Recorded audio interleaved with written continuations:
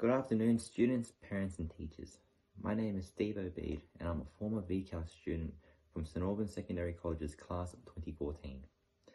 Today, I'd like to share with you a bit about my post-school pathway. This includes a medical diagnosis in my early high school years, the challenges I have faced because of this diagnosis, and how I overcame them to go on to further studies and live a fulfilling life despite being visually impaired. I was diagnosed with my vision impairment at age 13 in term 3 of year 7. I have a condition called Stargardt disease which affects my central vision and what, what people with relatively good sight can see at 60 meters, I can only see at 6. This has taken away my ability to ever get a driver's license and apply for certain jobs. Being told of the many things I was unable to do broke me and I was unsure what the future was going to hold for me.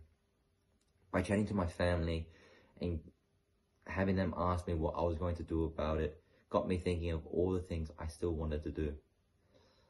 I wanted to make sure that I was continuing to study at school and that I could get in touch with the people who were able to give me the support I needed. As mentioned, I was a VCAL student. This was a decision made as I enjoyed being more practical and it fitted well with what I love, which is sport. Not receiving an ATAR didn't affect me in moving on to my future pathway.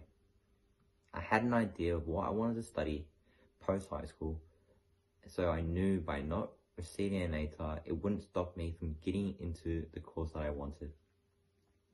After finishing, I studied a Diploma of Sport Development before gaining, before gaining entry into my bachelor's degree of Physical Education and Sports Science, which I am studying now. Although as this meant it took an extra year to achieve my degree, I was better prepared for the subjects moving forward. Whether it takes an extra month, six months, or a year, there are many ways to get to where you want. Speaking to the right people and getting good advice helps with achieving this too.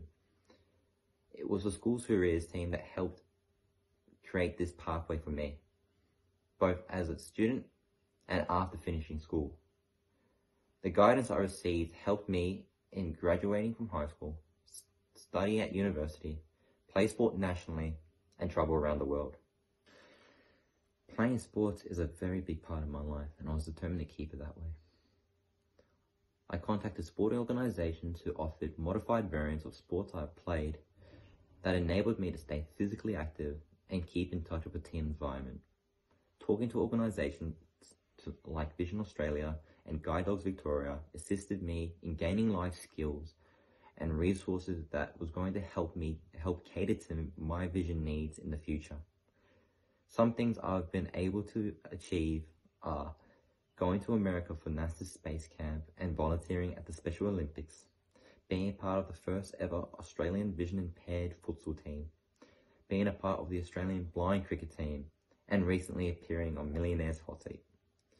As a 13 year old who dreamt of being an electrician, I never would have thought that these things would happen.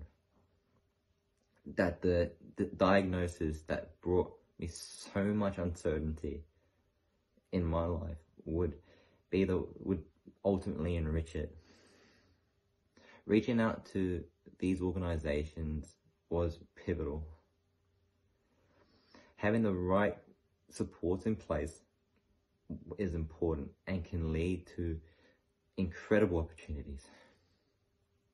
Having a circle of people you can rely on is also important. It is going to make things a whole lot easier.